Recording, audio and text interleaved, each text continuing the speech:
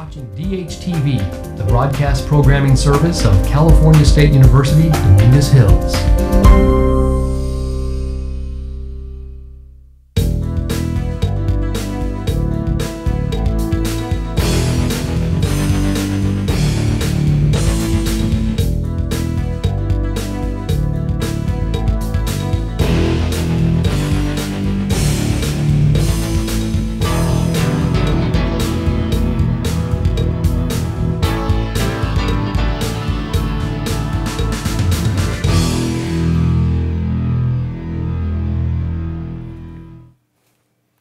Afternoon and welcome to Gardens of California. My name is Gerald Turney and I'm your host and instructor. And this is the live garden broadcast or show where we talk about everything about gardens from trees to turf and apples to zinnias. So if it grows in your garden, we talk about it. And if it doesn't do well in your garden, we'll talk about it too. Because if you haven't watched the show before, I'm a plant pathologist. I diagnose plant diseases and damage to plant materials. Uh, and I'm a certified arborist and a pest control advisor. So I kind of focus a little bit on what goes wrong with plants more than uh, uh, what's not going wrong with plants. So I can give you a lot of advice on how to take care of your plants. Our phone number is 1-800-339-1193. Give us a call with any question about your garden. You can email us as well. And uh, you can attach photographs to your emails. We'll pull them up on the screen and we'll talk about uh, the photograph, uh, if it's a, an individual plant or a tree or a problem in your garden. Our email address is askdhtvlive at gmail.com. Now, today we're talking about aloes and agaves. Last week we talked about cactus. And of course, this is all about uh, selecting plant materials to uh, grow in your garden to replace your lawn. And I say it almost every week is to get rid of your lawn. Uh, lawns are boring, they guzzle water, you gotta mow them every week. Um, they're just, uh, lawns are, of course, not compatible with the environment in Southern California. We don't get enough rain. Uh, we're in a severe drought, fourth year of a severe drought. Uh, lawn will use three to four feet of water per year to keep it alive in Southern California, especially in the hot inland valleys. Along the coast, closer to three feet. Uh, in, in, in, the San Gabriel Valley, the San Fernando Valley, you're looking at about uh, 45 inches to you know, maybe 48 inches of water.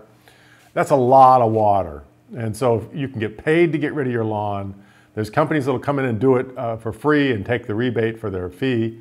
Uh, there's all sorts of ways to get rid of your lawn. It's, it's the only intelligent thing to do nowadays. Uh, there's no promise that we're going to get rain next winter. Uh, sometimes these droughts uh, last uh, for extended periods. So we've historically seen very long droughts in California, and we could see this one go on for a few more years. and we're going to eventually perhaps even see uh, lawns prohibited in California, or at least in Southern California. Uh, so we're going to talk about aloes and agaves, and we'll talk a little bit about yuccas as well, because they all have very similar appearance. They are, of course, different, uh, and we'll talk about those differences. But I was uh, lecturing yesterday at the Arboretum uh, for the uh, Master Gardener Training Program that is supervised and run by Yvonne Savio. Uh, she's been doing this for many, many years. She takes uh, 50 volunteers every spring and they come all day Saturday for four months, which adds up to roughly 100 hours of training. And they're required to volunteer, helping schools set up gardens, helping community garden plots, um, getting out in the community and helping people grow their own food. Now, the Los Angeles County Master Gardener Program is funded federally uh, by, and it's called Common Ground. And the purpose of this funding and the whole purpose of the program is to help lower income uh, members of our community get healthy, good food and help them grow their own food. So that's what it's all about. So yesterday I was there, I lectured for a couple hours on plant diseases, uh, talked about some of the major plant diseases that we deal with in landscapes in Southern California, and a lot of the uh, new pests that we have. So, you know, they go through a lot of training, and that's what I was talking about yesterday. And they always bring me a lot of samples, and it's always fun to see samples. Um, so we're going to take a look at these samples, and um, uh, but we want to go to uh, upcoming events. Uh, so let's go to some upcoming events that you can put on your calendar. We always like to start the show uh, highlighting the things that you can do in your community to go out and learn more about plants or just enjoy some of our very pleasant Southern California weather. Uh, it actually rained yesterday, so That was very pleasant. Let's go to our upcoming events and see what we have on our calendar. The Chocolate Festival is coming up uh, on May 9th uh, at the San Diego Botanic Garden. And you can, uh, so that's May 9th from 10 to 4. And you can give them a call at 760 436 3036 for more information about that.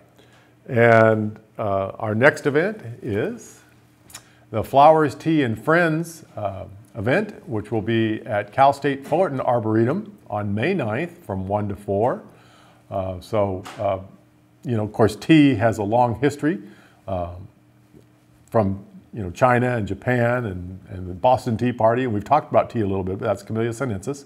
So, uh, you know, having a tea party uh, and uh, thinking about the plant material it comes from, good thing to do. Give them a call at 657 278 3407 for more information about that uh, Tea and Friends event. In addition to that, we also have the University of California Irvine Arboretum is having uh, is open on Tuesdays through Saturday from 9 to 3. It's on Campus Drive in Newport Beach. So this is just another uh, wonderful garden that you can visit to learn more about uh, various plant materials. And they have a, a unique collection of aloes uh, so you can go down there and see aloes uh, full size. They've been in the ground for a while and get an idea what they'll look like if you choose aloes to grow in your garden. And for more information, give them a call at 949 824 5833. In addition to that, we have the Rose Festival coming up at Descanso Gardens uh, May 16th and 17th from 10 to 3. And of course, roses are the most popular uh, shrub grown uh, in gardens throughout the world, really. And you can give them more, uh, you can give them a call at 818-949-4200 for more information about the Rose Festival. In addition to that, let's see what we have. We have here a list of various botanic gardens and arboretums. Uh, this is the first time we brought this up on the screen, but this is a great idea to give you an idea of how many different gardens there are for you to check out. This is just the first half of the list. There's the Los Angeles County Arboretum in Arcadia. We often highlight events there. Uh, the Milford uh, Mathias Botanical Garden, that's actually the UCLA Botanical Garden, named after uh, Mildred Mathias. very nice garden. Uh, there's also the, uh, the Earl Burns Miller Japanese Garden in Long Beach. Of course, Rancho Santa Ana Botanic Garden in Claremont specializes in native plants and very drought tolerant materials, but they specialize in plants from what's called the, the California Floristic Province, which includes Baja California.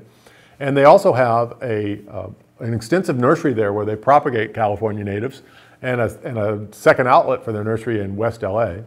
The Virginia Robinson Garden is in Beverly Hills. You'll need to call and make an appointment to visit this garden. This used to belong, of course, to Virginia Robinson.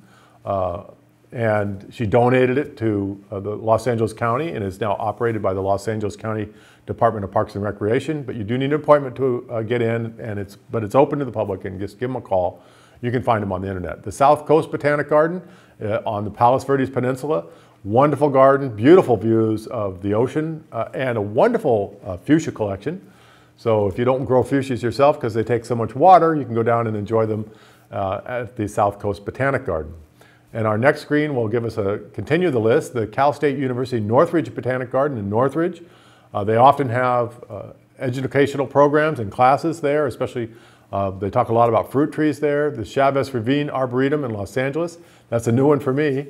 And Descanso Gardens in La Cañada uh, is a wonderful botanic garden with a lot of events, an extensive camellia collection, an extensive rose garden, and a lot of natives in addition to those two gardens. The Cal State University Fullerton Arboretum in Fullerton is an excellent garden to attend, and the Japanese garden in Van Nuys uh, is actually next to the Tillman Water Reclamation Plant and is a beautiful garden, a wonderful Japanese garden to uh, uh, go take a look at and enjoy our good weather. So those are all the events and locations you can go to to enjoy uh, gardens and learn more about plants and learn more about gardens. Let's take a look at some of the samples I got yesterday. Uh, let's take a look at this first one. Now this leaf here, I'll show you this leaf. This is hollyhock. And hollyhocks are really fun to grow. They have really pretty flowers. They're in the, the Malvaceae, that's the family, the Malva family. And, but, but hollyhocks get a disease, it is a rust. It is hollyhock rust. Um, and let's take a look at what it looks like on the back of the leaf. These are the pustules, and, and I don't know if they can get any closer, but you can see there's, there's these bumps all over the back of the leaves. And these are actually uh, uredial, um, or uredial pustules, or however you want to refer to them. And this is pretty heavily infested with the rust. And this one, this leaf also shows it uh, pretty good. Let's see if I can get it a little closer for you. But if I pick this one up, let's see if you can actually see those bumps a little clearer. But this is um, uh, rust on hollyhock. Rusts are extremely difficult to control, and there's another host for this, and it's cheeseweed, which is another uh, species within the Malva genus. And uh, it's interesting that the two share this rust. It's the same rust. And rusts are obligate pathogens that have to grow on a living host and are usually host specific, which means they only grow on one host like rose rust, only grows on rose. And uh, somebody also brought in rose rust. And let me just show you, it's pretty spectacular infestation on this leaf. Let me just lay this down here. This is rose rust. And of course, it's a different uh, fungus, and it will not, you know, they, this, the rust on rose will not infect anything but roses, as far as I know. I don't think there's any other alternate host. Rusts often have alternate hosts. Uh, they can switch back and forth between two different hosts and two different uh, life stages. But uh, the rose rust, we don't know of any alternate host. But a lot of rust, uh, rusts do have alternate hosts, like wheat stem rust has wheat, and uh, barberry is the alternate host. So these are two rust diseases. Rusts, like I said, are very, very hard to control.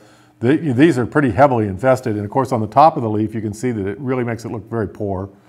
Uh, so the way, really the way you deal with rose rust is pick rose cultivars that are highly resistant rather than growing some of the older varieties that might have uh, very high susceptibility because this is pretty dramatic. Now what you can do is pick off all the leaves that look like this. They're already trashed. Get rid of them, put them in the trash, and you might mulch heavily under the plant to prevent spores from coming up from old leaves underneath. These yellow spores are actually uh, repeating spores, they're uredial spores that can fly off and start a new infection on another rose bush. Later in the year, these, uh, in the fall, these will turn black and produce what are called teliospores. But they're going to produce spores off, you know, these teliospores will actually just reinfect roses in the spring.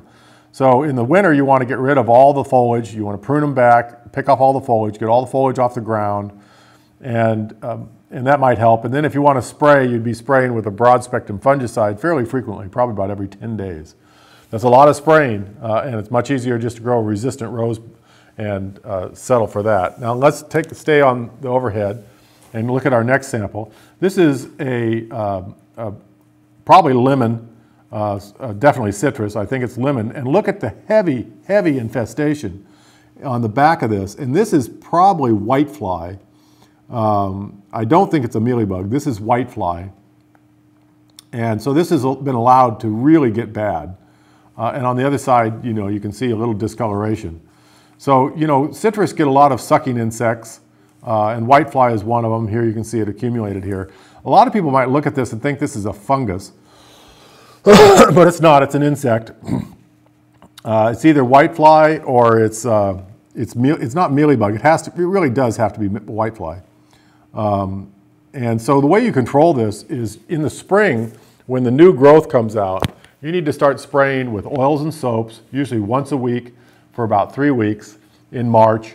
And then if you see this heavy infestation, you might want to spray with a, with a pyrethrin uh, mixed with a little oil and, and concentrate the sprays to the backs of the leaves. That's where the insects are going to be. That's where the aphids are going to be, the mealybug, the whitefly, scale, uh, and things like that. Um, so, and of course now we have psyllids on there too. So you might want to use a pyrethrin to really clean it up in the spring. So that was a pretty dramatic uh, example of um, this particular pest on citrus. And I have a couple more things. Let's just dump these, this one out. This one, I don't know what's wrong with this one, but uh, there's two more here. There were a lot of samples. There were a lot of people, and I was there for about three hours at the Arboretum giving that lecture. But take a look at this. This is a tomato plant, and um, it's got a, a, lesion or canker in the stem right here. This is a canker, uh, and you're not going to be able to treat this. Once it gets this bad, and if this is the main stem, you might as well uh, dump this plant and start over. This could be any one of a number of different kinds of fungi, and I don't know which one it is offhand because I just got the sample yesterday and I haven't been able to culture it or work with it in the lab. But it could be Alternaria, uh, which is, causes early blight on tomatoes. It could actually be uh, even Phytophthora, but I doubt it's Phytophthora. Um, perhaps it's some other fungus, but I'm not sure. If I put it in a jar and with a wet towel and give it a few days, it may actually uh. Um, so, and you can see it killed this, this part of it because it got girdles and killed it. So this is not good. Uh, it's probably very thin, it's just in the epidermis, but that's enough to really damage it. And then this is also tomato right here, and if you see the surface of the leaf, you'll see it's all speckled with little uh, white, whitish or yellowish uh, speckled spots. And whenever you see that with that speckling, you should immediately suspect spider mites.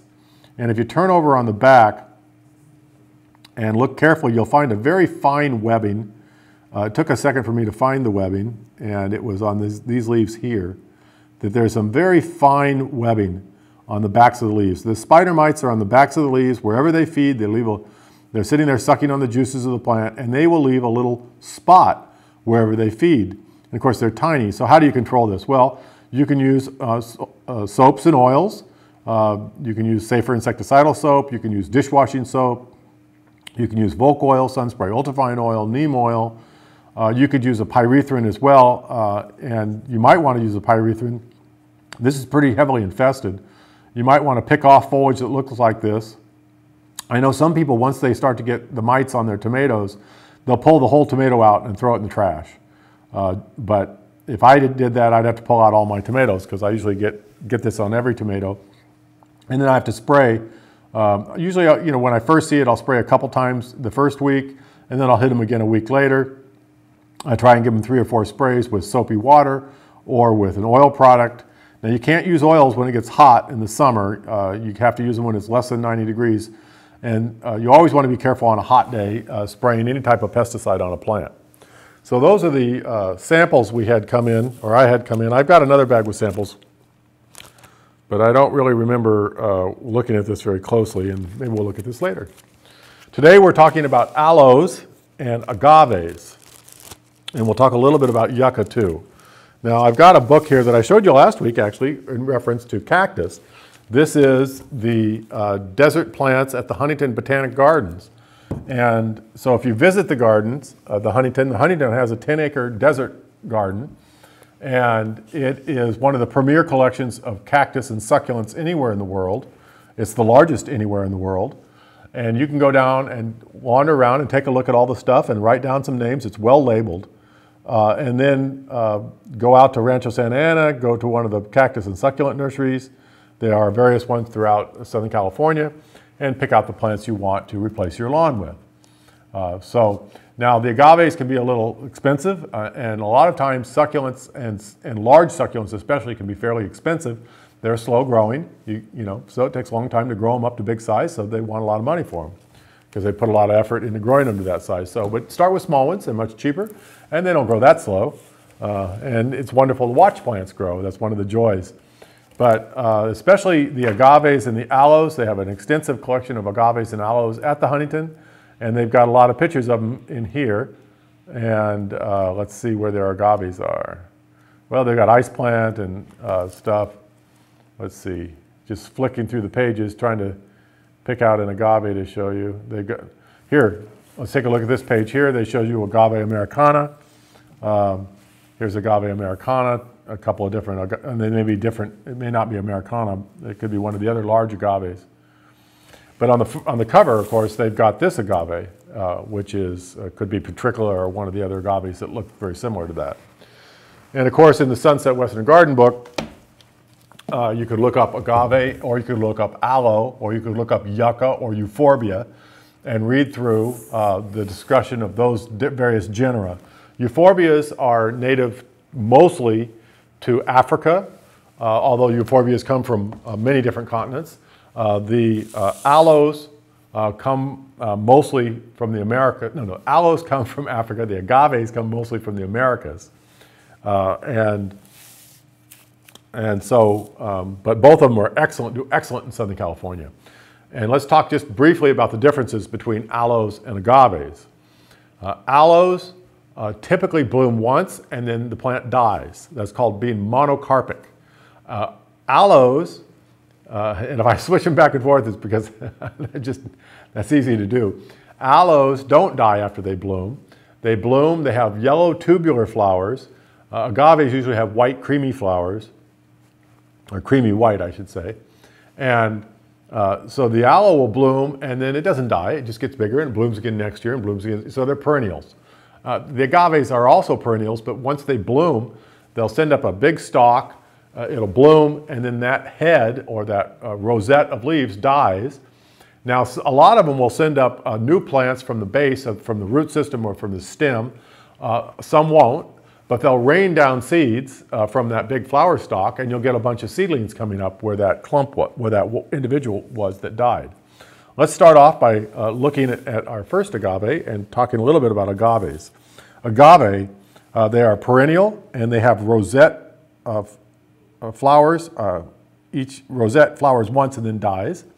Uh, chiefly Mexican, agaves are also native to the southern and western United States and central and tropical South America. They are succulents with a large rosette of thick, fleshy leaves, each ending generally in a sharp point with a spiny margin. The stout stem is usually short, the leaves apparently springing from the root. And that's one of the key differences with agaves and aloes. Agaves have a very sharp point at the end of the leaf that is hard and can go through your uh, clothing and poke you and make you bleed. It's as sharp and hard as a needle. And the leaves on agaves are flexible. You can bend them and they won't break. On aloes, the tip is not sharp. It won't penetrate clothing and, and poke you and make you bleed. And the leaves are, are firm and, and brittle. If you try and bend them, they snap like chalk. And, uh, and then with the flowering, the agaves flower and die, the aloes don't flower and die. Those, those are your three main differences between the three. Uh, of course, their distribution, and they're not in the same family either. They're not really related. They just, uh, you know, uh, cactus and agaves uh, evolved in the deserts of the Americas. Well, they don't have cactus and agaves in Africa, but they got plenty of deserts. And so the plants there that evolved have the same adaptations as plants in the Americas to living in deserts. They develop thick, fleshy tissue that stores water. They can lose their leaves and just have a thick, uh, fleshy stem that's green. So the stem itself is photosynthetic, but it may briefly have leaves, but or will drop the leaves right away. Cactus have lost their leaves. Now agaves didn't lose their leaves, but they have thick, fleshy leaves and a reduced surface area to reduce water loss. And so all of these plants, whether they're related genetically, have converged on the same physical form that allows them to survive in deserts. So, um, like I said, each grow, uh, rosette is monocarpic. Uh, during flowering, a tall stem or mast grows from the center of the leaf rosette and bears a large number of shortly tubular flowers. After development of fruit, the original plant dies, but suckers are frequently produced from the base of the stem, which becomes new plants. It is common misconception that agaves are cacti. Of course, they are not cacti. They are not related to cacti, nor are they closely related to aloe, which, whose leaves are similar in appearance. Uh, agave has long been treated as a genus of about 166 species, but it is not known that this concept of agave, uh, it is now known, I should say, that this concept is paraphyletic over the genera uh, Manfreda, Polianthes, and Pro, Proantheus. These genera are now combined with agave as agave sensu lato. That means uh, the latest sense, which contains about 208 species. In some of the older classifications, agave was divided into two subgenera, agave and Littaea, based on the form of the inflorescence. These two subgenera are probably not monophyletic, which means monophyletic means all the members in a, in a, in a group arose from one common ancestor. And in taxonomy of plants and organ, living organisms, you want each group, like if you have a genus, all members of the genus arose from one common ancestor. If you have a family, all members of the family arose from one common ancestor. And if they're not, that's called being monophyletic. If they're not, it's polyphyletic, and you need to revise the uh, nomenclature. So we're going to take a look uh, at some species. Let's look, look, at our first one here. Uh, we had it up just a moment ago. Let's bring it back up. This is First one we're going to look at is agave It's a, it's a hybrid called agave shark skin. Uh, this is at um, the Los Angeles County Arboretum. You see some barrel cactus in the back, and these are mammillarias here in the front. Uh, and this looks like another type of agave here on the left. But you get an idea of what agaves look like. And let's take a look at the next one, which is agave blue glow. And uh, a really, uh, really, really nice uh, agave. Um, and again, you can see that, it, I don't know if you can really see it, but it has very sharp tips on the leaves. Don't brush up against these, they'll poke a hole in your pants. And now those are both hybrids with uh, cultivated variety names, and that's important. You know, there's, you want to really pay close attention if you're buying cultivated varieties that you're getting the plant you want. Uh, the next one we're going to take a look at is agave havardiana. and this is a medium to large size century plant native to rocky grass slopes uh, from West Texas to into Mexico, um, uh, from 4,000 to 6,000 feet elevation. Uh, agave havardiana forms three to four foot wide glaucous single rosette of thick spiny leaves. Uh, it rarely offsets, so when this flowers, and uh, you're not likely to get any new plants at the base.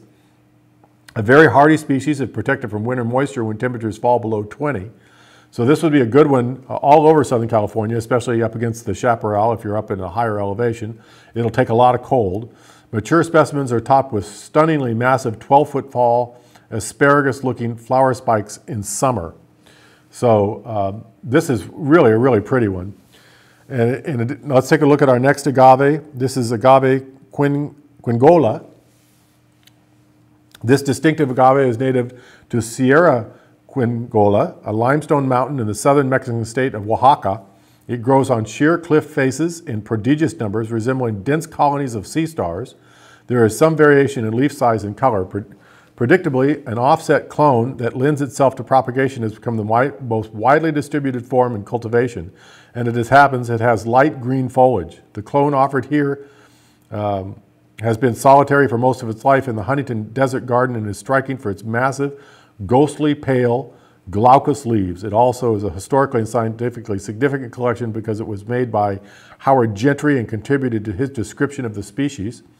Only in recent years have a few offsets been produced, allowing uh, propagation by tissue culture. So you can actually get uh, rooted offsets uh, from the Huntington Botanical Garden collection. Um, and let's see, uh, it occurs uh, 20 kilometers northwest of the coastal city of, and I'll never pronounce this correctly, Tehuantepec, Oaxaca, Mexico. So uh, now you have to look around to find this particular species. Might be a little hard. Let's take a look at our next one, which is agave uh, americana. And uh, this is probably the one that most people are familiar with. You see this uh, quite frequently. It seeds in a lot after it blooms commonly known as a century plant or American aloe, uh, and I don't know anyone who really calls it American aloe, but uh, it has been called that in the past. Originally from Mexico, cultivated worldwide as an ornamental, it is since naturalized in many regions, and grows wild in Europe, South Africa, India, and Australia. The misnamed century plant typically lives only 10 to 30 years, not 100. It has a spreading rosette, uh, 4 meters or, or, uh, or 13 feet wide, uh, Gray-green leaves up to six feet or a little longer, each with a spiny margin and a heavy spike at the tip that can pierce to the bone. I don't know if it pierced to the bone, maybe in your hand, but not, not in your arm so much. When it flowers, the spike is a big, is a chyme of big yellow flowers, can reach up to uh, 26 feet in height. Its common name likely derives from its uh, nature of flowering only once at the end of its long life, at, usually after about 25 years, it will bloom. The plant dies after flowering, but produces suckers or, or adventitious shoots from the base, which continue its growth. Uh, it may not do that in all cases, uh, and in this case, these probably all came up from seed. Um, and there was probably one originally here. It came up and flowered, and then all these came up probably from seed. It's hard to tell just from this picture. And um, Agave americana was one of the many species described by Carl Linnaeus in the 1753 edition of Species Plantarum. Um, and it has the same binomial name uh, that they used then. We still use that name today. There are a number of cultivated varieties or cultivars uh, of agave americana. Let's take a look at the first one. Uh, this is agave americana uh, um, marginata, and it has yellow stripes along the margins of each leaf. So you can see these uh, yellow margins along here. And this one's called marginata. So that's Ameri agave americana marginata. Let's take a look at our next one. This is, um, has a central white band on the leaf. It's called Mediopicta alba. So this is agave americana Mediopicta alba. And if, let's see if we, I don't think I've got the, there is a third one called Mediopicta aurora with a yellow band. Instead of this being white right in here, it will be yellow. And that's another cultivar of agave americana. Uh, so they're really wonderful. I love the agave americanas. They get pretty big. So even, you know, this one's not very big in this picture. So you got to give it a lot of space and they're not going to grow really fast. But uh, if you water them once a month, they'll grow pretty good. Uh, in addition to those other three, there's also striata with a yellow to white stripes along the leaves and variegata with white edges on the leaves. So there are a variety of them. Uh, if the flower stem is cut without flowering, a swick liquid, liquid called aguamiel or honey water gathers in the heart of the plant. This may be fermented to produce a drink called pulque. The leaves also yield, yield fibers known as pita, which are suitable for making rope, matting, coarse cloth, and are used for embroidery of leather in a technique called piteado. Pit, piteado, I'm not sure how to pronounce that. Both pulque and uh, maguey fiber were important to the economy of pre-Columbian Mexico. Mezcal and tequila are different from pulque in that they are distilled spirits in the region of tequila. Agaves are called mezcals, and the high alcohol product of the distillation is called mezcal. Tequila is made, of course, from agave tequiliana, commonly called blue agave. Agave nectar, also called agave syrup, is marketed as a natural sugar substitute with a low glycemic index, um, and it has a high fructose content. Uh, the plant figures in the coat of arms of Don Diego de Mendoza, a Native American uh, governor of the village of um, uh, Jacuba Hidalgo state. The sap is quite acidic and can be quite painful if it comes in contact with the skin. It is, can form small blisters. I want to tell you that all you have to do is start cutting the leaves off on these agave americanas, and within a few minutes you'll start to develop a red rash. I had that happen to me. So when you do remove them, you've got to be very careful with them. Um, and even the dry leaves can do that to you. And now the next one I want to show you is agave deserti. Uh, this is uh, native to the desert regions of Southern California, Arizona, and Baja California. It is tall, its tall yellow flower stalks dot dry rocky slopes and washes throughout the spring. It forms a rosette of fleshy gray-green leaves, uh, 20 to 70 centimeters, that would be about 10 to 35 inches long, and, and four and a half to 10 centimeters broad, with sharp spines along the edges and at the tips. It flowers at maturity, 20 to 40 years, sending up an inflorescence uh, anywhere from um, 6 to 18 feet tall. You can see this one is, is pretty tall. That's pretty tall. Here's all the flowers up here. Uh, the panicle bears numerous yellow funnel-shaped flowers uh, uh, about uh, one to three inches long. There are two varieties. There's agave deserti variety, deserti, plants usually with numerous rosettes. Uh, uh, the tube, and it grows in, it's only found in Southern California. And agave deserti variety simplex, usually with one or only a few rosettes, um, and it grows in Southern California and Arizona. So that's agave deserti. Now let's take a look at another one, which is actually probably one of the most common. Our next one is agave attenuata. This is one of the most common agaves that you're going to see in Southern California. Uh, and it's quite different from the other agaves. It's fairly uh, um, tender, it'll freeze, uh, and it is soft and uh, not nearly as stiff as a lot of the other agaves. And the tips don't have sharp points on the leaves. So agave attenuata uh, is sometimes known as lion's tail or swan's neck or, or foxtail for the development of the curved stem flowering. Uh, the flowers on a long curved stem. Native to the plateau of central Mexico, one of the unarmed agaves, it is, pop, it is one of the most popular ornamentals in, in uh, plant gardens. The stems typically range from 30, uh, let's say 20 to 60 inches in length, and eventually old leaves fall off, leaving them naked and visible. The leaves are ovate accumulate or acuminate. Um, uh, they are pale in color, ranging from a light gray to a yellowish uh, green. There are no teeth nor terminal spines, although the leaves taper to points that fray with age. Their inflorescence is a dense raceme, uh, 8 to 10 feet high, with greenish yellow flowers that arches. Let's take a look at the next picture, showing you how it blooms.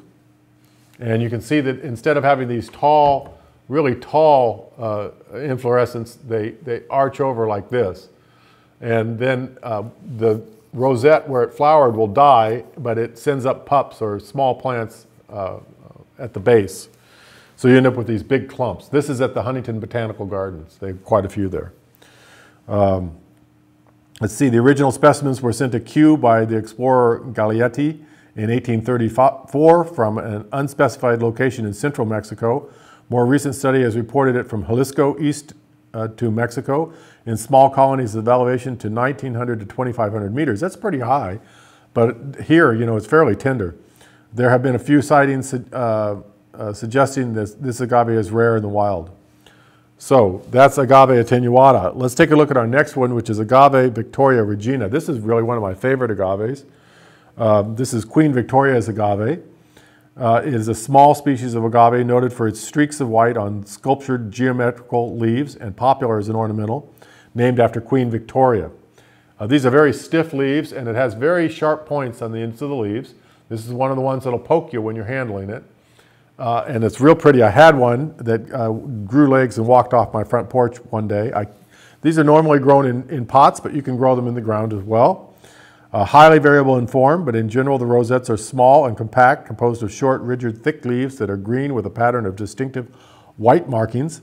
The markings are generally along leaf keels or margins, giving a short polyhedral appearance. Marginal teeth are usually lacking, uh, while the terminus of the leaf may include one to three spines uh, one and a half to three centimeters in length. So they're short spines. It is found in its natural habitat across the Chihuahuan Desert with about a half a dozen subspecies named. The situation is complicated by hybrids with a number of other agave species. It is cold, hard, is cold hardy as agaves go and thus finds favor as a small accent in many northerly gardens. So you could grow this pretty safely in Southern California uh, but I'd be uh, cautious maybe growing it up against the mountains uh, where it gets a little colder in Altadena or Sierra Madre or, or La Cañada. Now, if we take a look at our next one, this is agave uh, shawii.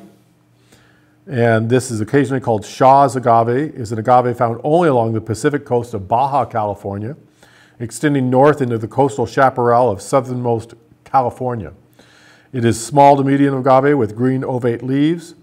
20 to 50 centimeters long and 8 to 20 centimeters wide and a variable pattern of marginal teeth.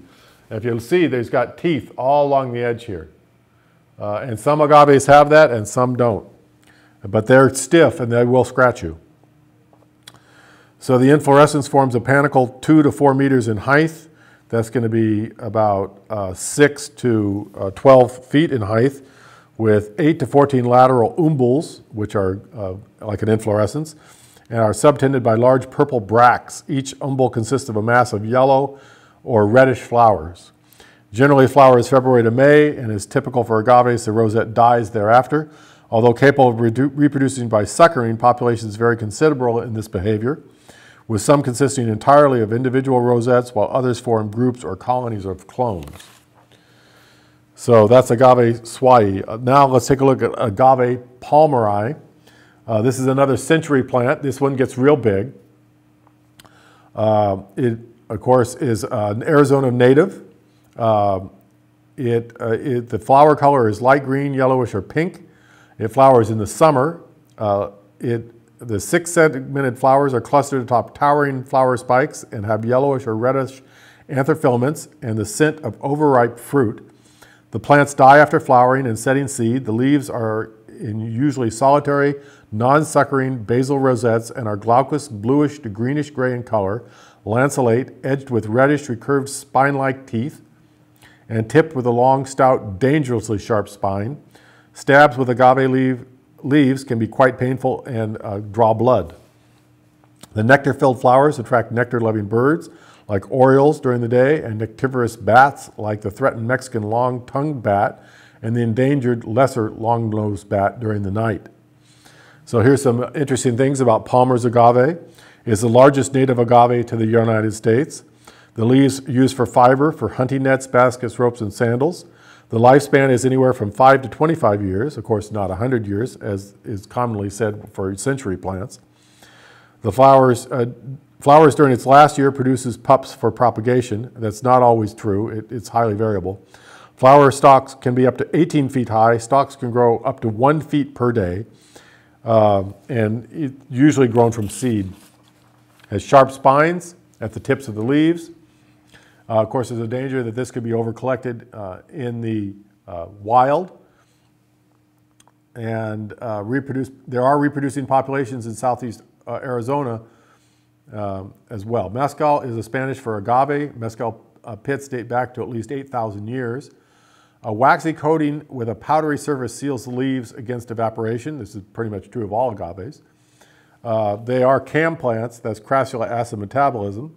The plant depends on bats for cross-pollination. The flowers smell like rotting meat, uh, which is an attractive scent to bats. Um, nectar is high in proteins and sugars. They have a shallow but extensive root system, which harvests moisture from rain, dew, and condensation. And the waxy coating of the leaves helps to roll the moisture down the leaves to the roots. So that's another agave for you to put on your list. Let's take a look at our next agave, agave parryi. And if I'm rolling through these, it's because I have a lot of, of, plants to talk about today. This is agave. Let's take a look at agave parryi. That's our next picture, number 14. Here we go. This is parryi. Uh, known as Perry's agave or mescal agave, is a slow-growing agave native to Arizona, New Mexico, and northern Mexico. The leaves are gray-green and have a spine at the tip. One of the distinguishing features is that the point on the tip, which is usually dark brown or black, is darker than the leaf. Indentations of previous leaves show on the back of each leaf. Uh, the Huacha variety grows in a rosette pattern as large as two and a half feet in diameter. This is a fairly compact plant, and plus its low water use and low maintenance uh, is considered a good landscaping plant for desert residential landscaping. It requires full sun. It is hardy to roughly minus 5 degrees Fahrenheit so very cold, though there are reports of specimens surviving temperatures at minus 20 degrees Fahrenheit. Perry's agave is evergreen. Aged agave produce a 12-foot stalk with bright yellow blooms that die after blooming as all leaf and root sources are put into the stalk, flowers, and seeds. It can be propagated by, either by offset or seed. And then, of course, here's our, our next agave, and we're rolling right through them. This is agave, our next one is agave tequiliana, commonly called the blue agave or tequila agave. Uh, is an important economic product. Of course, uh, um, tequila is an important economic product of Jalisco, Mexico, due to its role as a basic ingredient of tequila. A popular distilled spirit. The high production of sugars, mostly in the form of fructose, in the core of this plant is the most important characteristic of the plant, making it suitable for preparation of alcoholic beverages. The tequila agave is a native of Jalisco, Mexico, favors high altitudes of more than 1,500 meters, that would be about 4,500 feet to 5,000 feet, grows in rich and sandy soils. While commercial and wild agaves have different life cycles, both grow in, into large succulents with spiky, fleshy leaves that can reach over two meters in height. Agaves sprout a stalk when about five years old and can grow an additional five meters and top with yellow flowers. The stalk is cut off from commercial plants so the plant will put more energy into the heart. Pollinated by native bats and produce several thousand seeds per plant. The plant dies after flowering. The shoots on commercial plants are removed when about a year old to allow the heart to grow larger. The plants are then reproduced by planting these shoots. And so they're mostly clones and they're losing genetic diversity uh, by doing this.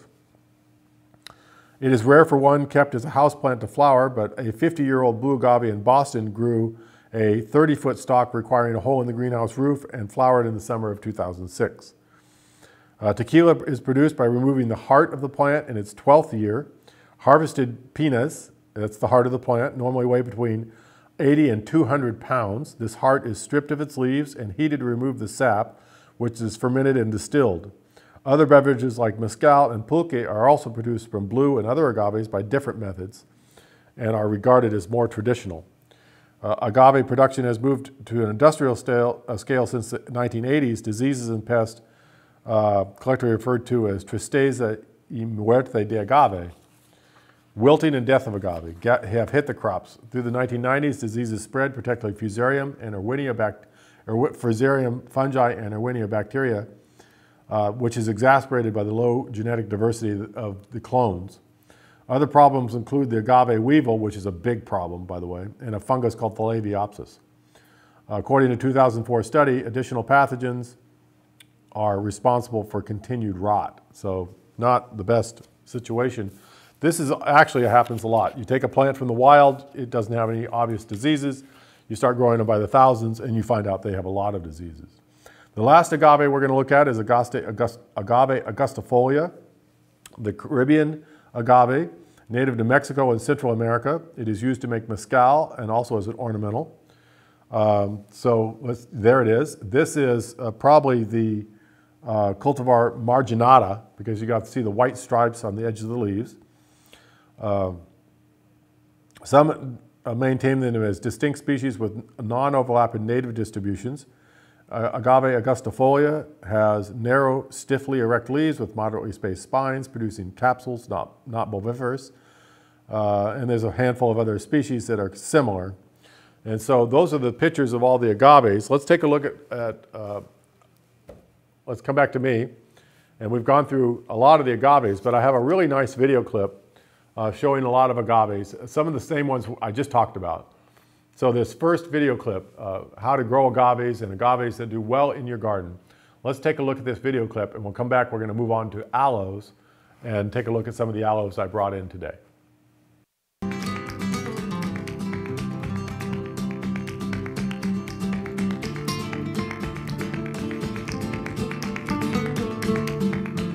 Agaves are native to the southwest in Mexico. Depending on the variety, leaves may be several inches to several feet long. Agaves have crisp silhouettes that look great in front of boulders and walls. Large agaves make excellent garden focal points. Diminutive agaves are ideal for pots and for massing in garden beds. Agave attenuata, or foxtail agave, is a soft, smooth-leaved agave that doesn't have the teeth and the sharp terminal spines of many agaves. It is a great plant for Southern California, especially along the coast.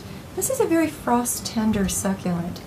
Inland, where temperatures may drop below 32 degrees in the wintertime, is not the best place for these agaves right out in the open unless you grow them as understory plants where they will be protected by overhanging branches.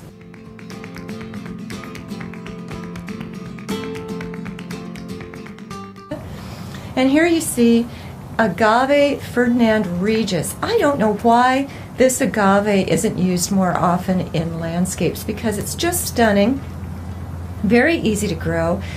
It is related to agave Victoria reginae, but it actually gets bigger.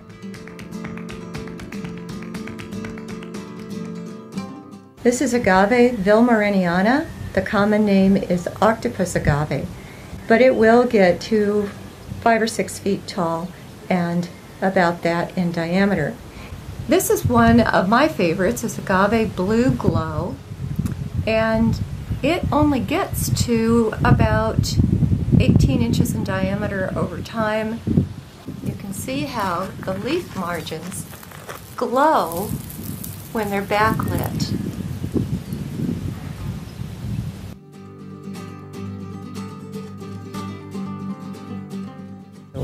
This is agave parryi truncata just a, a wonderful artichoke of a plant.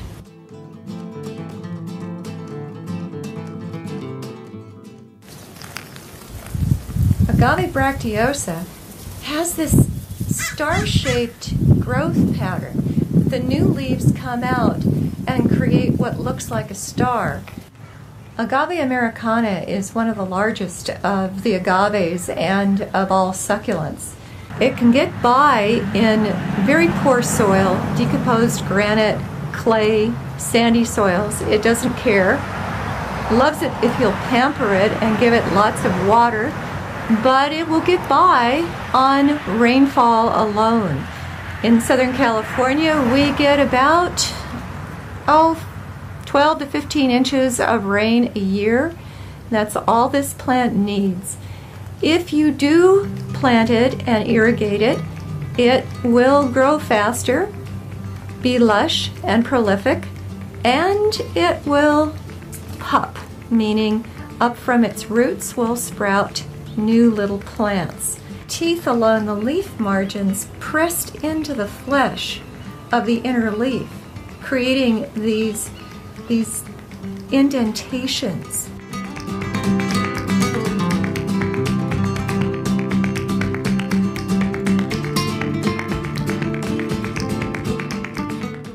Agave Americana marginata is gray blue along the center of the leaves and has yellow along the leaf margins. Like the like its cousin, Agave Americana, it gets to be really big over time. Agave Americana, Mediopicta alba, or the tuxedo agave, is also one of the smaller of the agave americanas, only getting to about three or four feet in diameter and two or three feet tall. Agave franzosinii grows to be one of the largest of the agaves. This is actually a small one.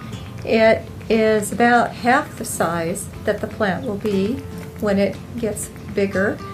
At uh, this one is about three feet tall by three feet in diameter. Agave franzosinii has this wonderful blue silver color. Almost looks like tinfoil. It's it's so silvery. The one downside to agaves is that they're monocarpic, meaning they bloom once and then die. So when you see an agave with a bloom spike, you know that that plant is toast.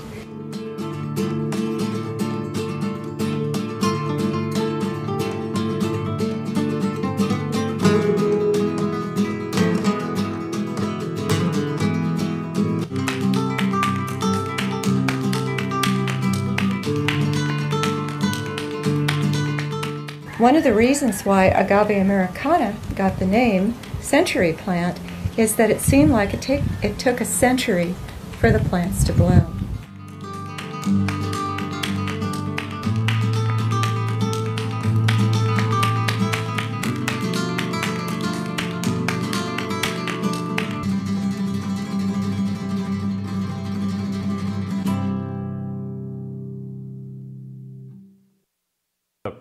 Can find that on YouTube uh, just by typing in uh, agaves, how to grow agaves or growing agaves. And then you can, you know, if you didn't get a chance to jot down some of those names, or you can go to the Huntington uh, Botanical Gardens or, or, the Arboretum and take a look at their agaves and their aloes. Uh, but let's move on and talk a little bit about aloes. And a lot of people uh, confuse aloes and agaves. They look very similar, but I mentioned the differences earlier at the beginning of the program. Uh, agaves have very sharp tips on the end of their leaves, uh, spines really. Uh, they, the leaves are flexible, they're not brittle, uh, and they flower once and die typically. Uh, sometimes they'll throw offshoots, pups up, uh, but not always. Aloes are perennial, they don't die after they bloom. they don't have sharp tips on the leaves, but the, and the leaves are very stiff and brittle, and they break when you, when you start to bend them.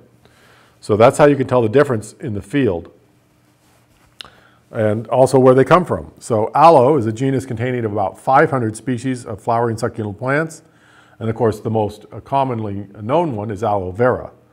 The genus is native to Africa, and it is common in South Africa's Cape Province, the mountains of tropical Africa, and neighboring areas of Madagascar, the Arabian Peninsula, and the islands of Africa. I'll just note that aloe vera, probably the most widely grown aloe, uh, is not, no one knows its native range. It does not occur naturally in the environment anymore. It's gone. Uh, but it is, but the millions of them are propagated annually. Uh, the genus is placed in the family Xanthorrhoeaceae, uh, the subfamily uh, Asphodeloideae. In the past, it has also been assigned to the family Aloaceae and Liliaceae, or the lily family. Members of the closely allied genera Gasteria, Haworthia, and Kniphofia, which have a similar mode of growth, are also popularly known as aloes, but they are not true aloes. The plant Agave americana, which is sometimes called American aloe, belongs in the Asparagaceae, a different family. Most aloe species have a rosette of large, thick, fleshy leaves. The leaves are often lance-shaped with a sharp apex and spiny margins. So the margins of the leaves are toothed. Uh, aloe flowers are tubular, frequently yellow, orange, pink, or red, and are borne densely clustered and pendant at the apex of simple or unbranched leafless stems. Many species of aloe appear to be stemless, with the rosette growing directly at ground level. Other varieties may have a branched or unbranched stem from which the fleshy leaves spring. In fact, there are tree aloes that can get up to 30, 40 feet in height. The vary, they vary in color from gray to bright green and sometimes striped or mottled. Some aloes native to South Africa are arborescent, uh, which means they're tree-like. Historical uses of aloes. Aloes, of course, were used uh, for a lot of reasons in Africa. Um, so they were used by, uh, their use is well documented by humans. Uh, so of the 500 plus species of aloe, only a few were used traditionally as herbal medicine. Aloe vera, again, being the most commonly used version of the aloe in herbal medicine. Also included are aloe perryi, found in northeastern Africa, and aloe ferox, found in South Africa. The Greeks and the Romans used aloe vera to treat wounds, and of course it's well known today to be used, you could treat um, uh, burns with it, and I've done that. I have an aloe vera in my front yard, I can't bring it in, it's too big. But I, if I burn myself, I go break off a leaf, it's got like a jelly, gooey stuff in the middle of the leaf, just rub it on the burn, it soothes the burn and it accelerates healing. In the Middle Ages, the yellowish liquid found inside the leaves was favored as a purgative, which means they used it to, uh, well, I won't describe that. Unprocessed aloe can, that contains aloin is generally used as a laxative, whereas processed aloe vera juice does not usually contain significant aloin. Some species, particularly aloe vera, are used in alternative medicine in the, in the home first aid. Both the trunculent inner pulp and the resinous yellow aloin form from wounding the aloe plant are used extensively to relieve skin discomforts. Um, and then as an herbal medicine, aloe vera juice is commonly used internally to relieve digestive discomfort. Some modern research suggest, suggests aloe vera can significantly slow wound healing compared to normal protocols of treatment. Uh, my experience is that it accelerates the healing of burns. Or at least it, it, it relieves the burn and, and it helps me. Other reviews of randomized and controlled clinical trials have provided no evidence that aloe vera has a strong medicinal effect. Well, it, it it, it leaves the burning sensation. Today, aloe vera is used both internally and externally on humans. Let's take a look at our first aloe. This is aloe striata, um, and bring that up. Now, aloe striata is a little is unique in the aloes can, because the edges of the leaves have no teeth. It has a smooth edge right in here. If you get one, uh, if you buy an aloe striata with teeth all along the edge, it's a hybrid. Uh, so Aloe striata uh, is, gets to about 18 inches tall by 2 feet wide with rosettes of a few flat, broad, pale green leaves that vary in color depending on the amount of sunlight. In hot, full sun, the foliage is pinkish, and in cool spots, they are often bluish green. The leaves have notable dark, narrow lines running longitudinally, uh, though more pronounced on the subspecies, on various subspecies, and a toothless, pale, reddish, nearly transparent leaf margin. In late winter into early spring, uh, flowers emerge up to uh, three to two foot tall stems that branch and hold clusters of coral red flowers. If we look, uh, well, let's continue on. Let's change the picture. This plant is often sold as a solitary plant, but will slowly produce new rosettes at the base to form a cluster. Plant in full sun to light shade in well-drained soil and irrigate little to regularly. Though quite tolerant of dry conditions, a plumper plant can be attained with regular irrigation. So regular irrigation for me means once a month. hardy to 20 to 25 degrees Fahrenheit, plant in groups or as a solitary specimen in the ground or a large container. Aloe striata is widely distributed in dry areas of the eastern and western Cape provinces of South Africa, growing from 800 to 7,500 feet in elevation. The specific epithet striata is usually uh, from the Latin adjective striatum, also meaning grooved or striped, an allusion to the longitudinal stripes of the leaves. Be wary of imposters. Much of what is sold as aloe striata in the nursery trade is actually an aloe, striata hybrid, and that's what I mentioned. If, if it's toothed on the margins, it's a hybrid. We have grown out, well, aloe uh, striata has been grown since uh, 1982 by this particular nursery, and the plants are grown from well-maintained and isolated stock plants that yield seed of consistently uniform and true to type plants of aloe striata. Um, so uh, that's aloe striata. Let's come on back to me. We're at the top of the hour. And this is when we like to take a little short break. Uh, to remind you, you're watching Dominguez uh, Hills TV, DHTV, broadcast from the uh, University of uh, Cal State University Dominguez Hills in Carson. So let's take a short uh, station identification break, uh, and when we come back, we'll talk more about aloes, and you can give us a call and we'll talk about your garden. You are watching DHTV, the broadcast programming service of California State University, Dominguez Hills.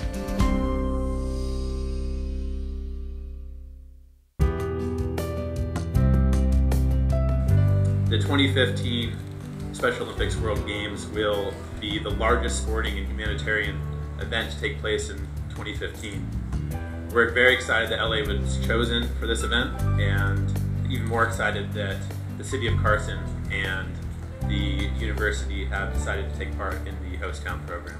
Almost 200 million people around the world have intellectual disabilities. The late Eunice Kennedy Shriver had an incredible vision that she could change their lives through the simple power of sports and thereby transform communities around the world as they come in contact with our athletes.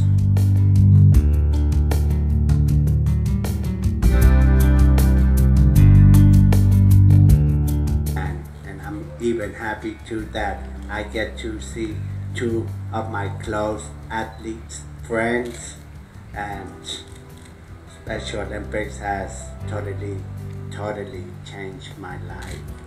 Mrs. Shriver's vision has resulted in more than 4.2 million athletes in 177 countries around the world participating in about 70,000 events a year in Special Olympics.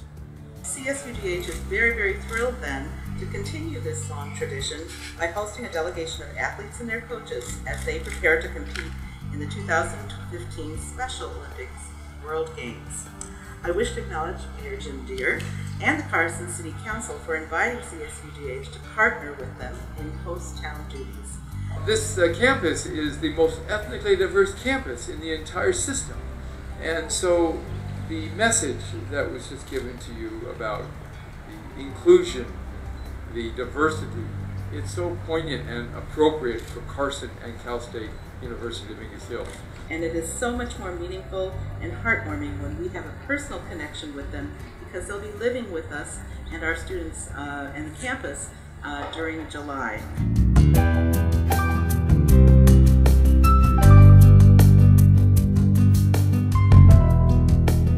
Inside the circle of acceptance and inclusion, which is our primary mission, and the multicolors represent the diversity of 177 countries and the diversity of Los Angeles and how we can reach every corner of this community with the message of acceptance and inclusion.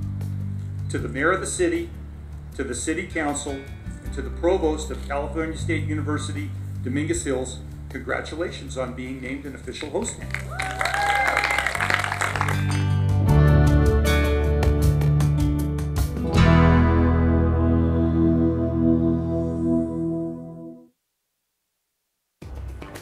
Hi, I'm Kim McNutt, Dean of the College of Extended Education here at Cal State Dominguez Hills. Did you know that in the first three quarters of this year, there were nearly 34,000 permitted production days of filmed content shot on location by crews just like this all around Los Angeles? While the production crew behind me is following safety protocols, that's not always the case. And the further a crew goes outside the 30 mile zone, the greater chance someone will get hurt. CSU Dominguez Hills has the only OSHA Training Institute Education Center in the LA Basin. We offer a certificate program designed for the specific needs of the film and television industry. Make sure your next production is safe. For more information, visit our website, csudh.edu backslash OSHA. That's csudh.edu backslash OSHA. Hello, my name is Maria Rosales. I'm a senior at California State University Dominguez Hills. I'm majoring in criminal justice administration. The reason why I decided to come to this campus was for its great faculty, great location, and friendly environment. Teatro Dominguez is a multicultural theater company here at Cal State Dominguez Hills. And the program is designed to do play readings, workshops, and folktale tours to local elementary schools. We do that every year. The idea is that we are not doing theater so much as a uh, entertainment, doing theater to help make our lives better. It is community service first and theater second. So for instance, Teatro would do a play reading of a, a play about assimilating into American culture if you're an Asian immigrant. And that may be performed in a middle school or here on campus. I've had a number of teachers ask Teatro Dominguez to come into their classrooms to, to read scenes. We have workshops where we would bring a group like Culture Clash in or uh, Cornerstone Theater Company to help our students learn about community-based theater creation. And the touring show is always interesting. Every year we take folktale or we create a folktale of our own, which is animals talking in masks, and we tour it to local second grade classrooms. So what Teatro does are is really educational theater. It is theater that focuses on social issues and it has more of a direct purpose uh, for society. You ought to be congratulated on undertaking a sometimes difficult but always rewarding task of earning your college education. You are here and you are in for a great ride.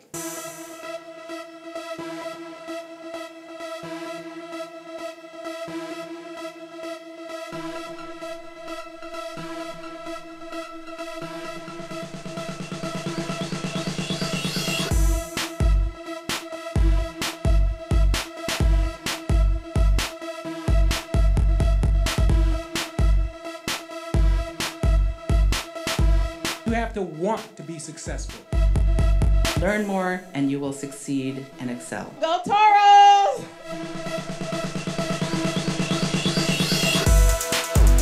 You can be the class of 2018 that change the world. You can do that because you're at CSU Dominguez Hills.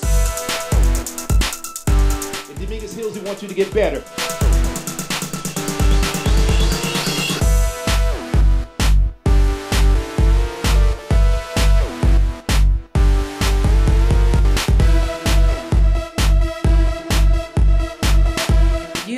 In control of your destiny.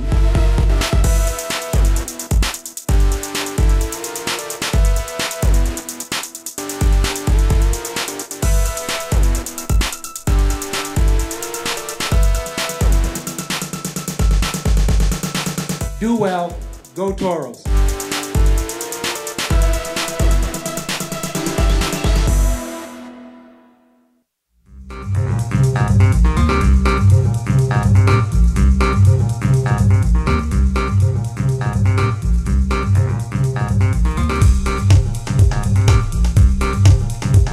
Tune in to DHTV on Tuesday night for Jazz in the Modern Era with Chet Hanley, the only live interactive jazz program on cable television in Southern California.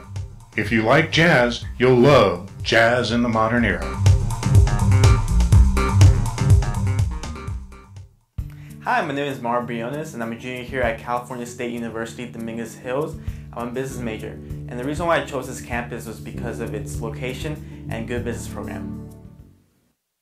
Hello, I'm J. Kim McNutt, Dean of the College of Extended and International Education here at Cal State Dominguez Hills. I want to personally thank you for tuning in to our high quality educational programming. Remember, watch, listen, learn DHTV.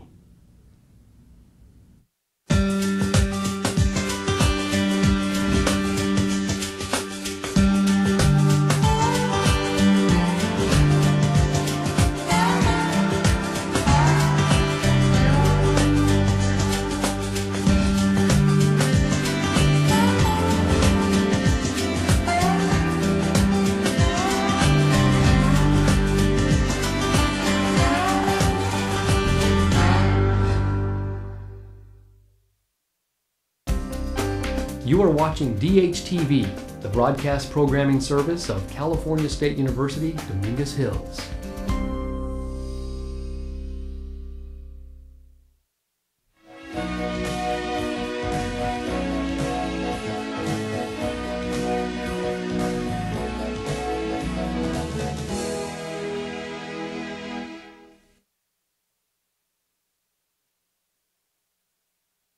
Back to Gardens of California, uh, the live uh, garden show where you can call in and ask questions about your garden. Uh, today we're talking about aloes and agaves. So we talked about agaves the first hour, and now we're moving on to the aloes. We just talked a little bit about aloe striata. We'll talk about uh, a bunch more aloes, and we'll take, try and get in a little talk about um, some other similar plants as well. Let's talk about our next species of aloe, uh, Aloe petricola. And uh, let's bring up that picture uh, of Aloe petricola. This picture is taken from the Huntington Botanical Gardens, and these are in full bloom. Uh, and uh, they probably are blooming right now. So Aloe petricola is native in South Africa, specifically Mpumalanga. aloe petricola belongs in the aloe genus um, and is commonly known as a stone aloe.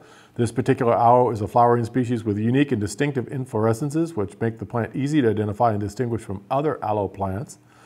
Aloe petricola is very popular for gardening because of its beautiful and radiant colors. Like many aloe species, aloe petricola is used for medicinal purposes or medical purposes as it aids in healing wounds and minor burns. The plant reaches anywhere from 18 to 24 inches in height and can reach a little over a meter in width with its inflorescences while its inflorescences can reach about four feet, surpassing the height of the plant's fleshy leaves. The succulent plant is virtually stemless and has rosettes of blue-green colored leaves.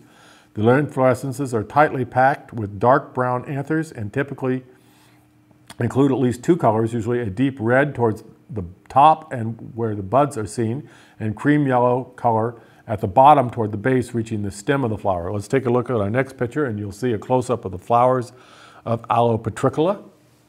And you can see at the top, they're, they're really quite reddish orange.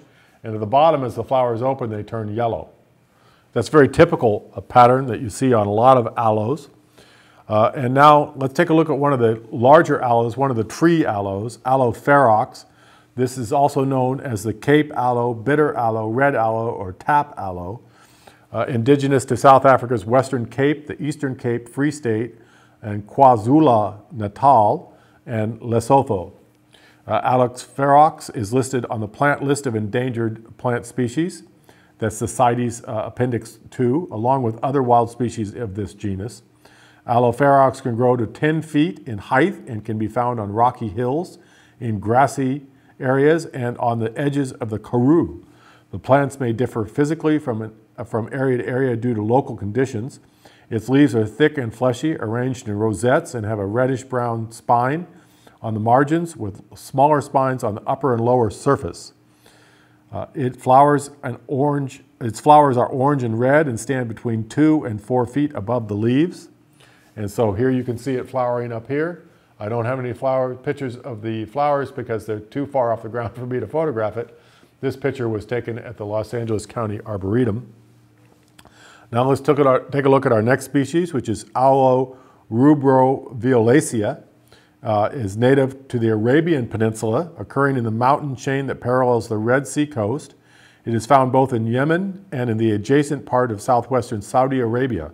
In nature, it grows in steep places and has a pendant or semi-pendant growth habit. However, is done well at the Ruth Bancroft Garden in Walnut Creek on level ground with stems creeping along the ground as they elongate over time. Ruboviolacea means red violet and refers to the purplish coloration taken on by the leaves in sunny situations. Offshoots from the base arise occasionally so that in time a clump is formed. Plants flower in the winter, beginning in late November or December. And there is sometimes a second flowering in summer, but not nearly so many flower spikes as are produced. The flower spikes may be single or with one or two branches and are topped by dense clusters of attractive red flowers. Although the plants themselves are quite cold tolerant and during temperatures down to 20 degrees Fahrenheit, the flowers can be damaged whenever freezing temperatures occur. Although this is not a problem in mild parts, uh, milder parts or areas, it can cause trouble in interior locations, uh, such as hot interior valleys that get cold in the winter. Only in, in milder winter areas uh, do they make it unscathed all the way through the cold season. Let's take a look at our next picture which is the Aloe ruboviolacea flower. Uh, close-up of the flower to give you a, a, look at the flower. You can see the foliage here has that pink uh, color, that rubro violet, you know, violet color. But let's take a look at our next picture, which is number 22. And here is a, a close-up of the, of the flower spike. And of course, it's very typical of an aloe flower. Now, this next one is one of my absolute favorite aloes, Aloe marlothii. And uh, this is known as the mountain aloe or the flat flowered aloe. Large single stemmed South African aloe of rocky places and open flat country, occasionally growing to 18 feet tall. Its distribution ranges from the Klip River Hills in Johannesburg through eastern Botswana and northwards over South or Soutpansberg to Zimbabwe and Malawi, and eastwards to Swaziland and Mozambique to the coast. The species grades through intermediate forms into Aloe spectabilis um, in the KwaZulu Natal, and the two are now considered synonymous. Named after Rudolf Marloth, Marloth the renowned South African botanist, this species is full flower, in, in full flower presents a magnificent spectacle. The trunk densely covered by the withered old leaves, which when green can be up to one and a half meters in length and usually densely covered in short spines on the convex lower surface and less so on the concave upper surfaces. The inflorescence is much branched panicle with up to 30 or exceptionally 50 racemes. Flower color ranges from yellow through orange to bright red. Flowering color is through the winter months. As in the case with most aloes, Aloe marlothii forms natural hybrids with some 30 or more species. And so there's, uh, let's, so here you can see it. The thing about it is instead of the, the flower spikes going straight up and having flowers come off like, like sideways, the flower spikes do this. They're kind of flat. That's why it's called the flat flowered aloe. Uh, it, it, really is quite different. And, and uh, all the flowers tend to curve and go up like this. They don't point down off the raceme. So let's take a look at our next picture, which shows some aloe marlothii in full sun. It's not quite, and I don't know if you can see it, but the, the leaves are covered with spines. It is one of the coolest aloes, and of course it makes a small tree, up to about 20 feet in height. And you know, you, are not going to be able to get them uh, like this unless you want to pay a lot of money. This would cost you a fortune to buy one this size. I had one in a nice uh, five gallon, uh, and it was taken off my front porch. So that kind of made me mad. So aloe, let's move on to our next aloe, aloe arborescens.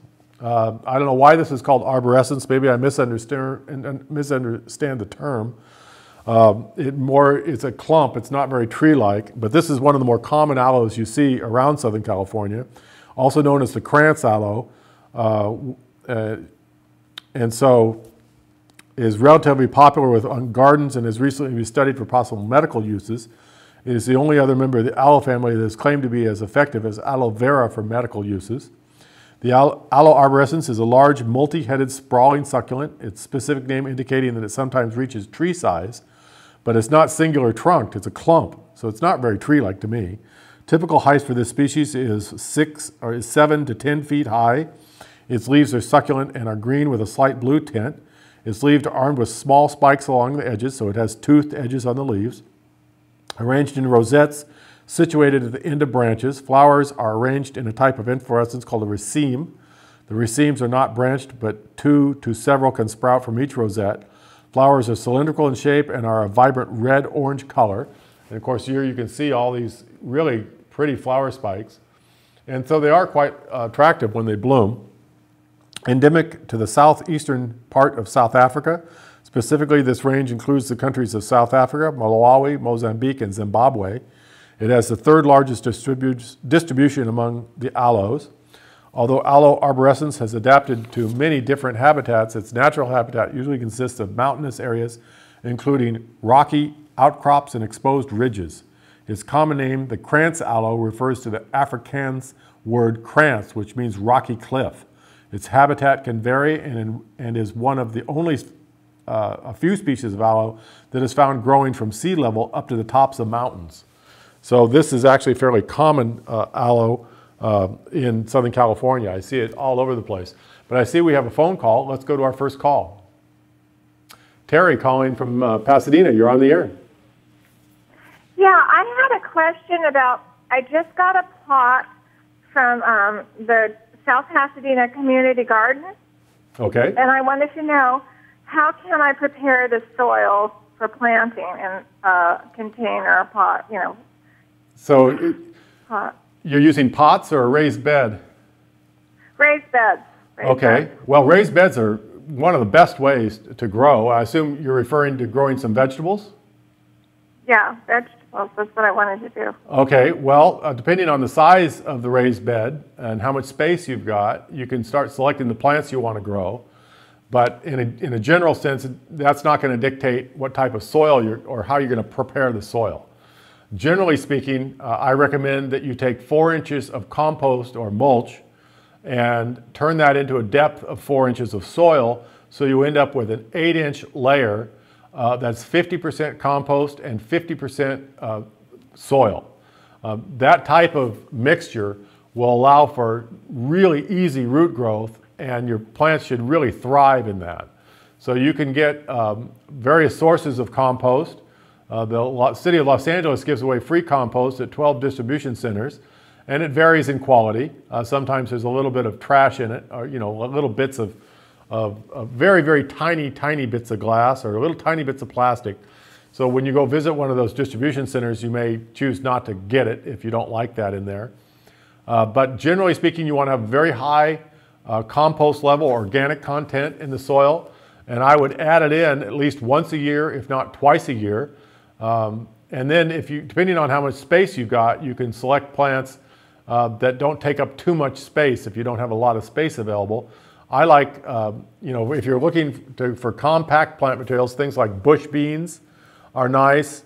Uh, the leaf lettuce is nice. You might want to go with some onion sets. Uh, tomatoes tend to take up a little bit of space, so you might want to limit how many tomatoes you grow.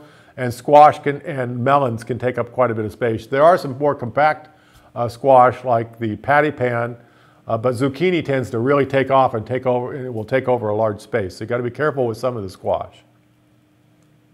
Oh, okay. Well, thanks for that advice. Okay, thank you so much. So lots of mulch, mulch, mulch, mulch. What's that?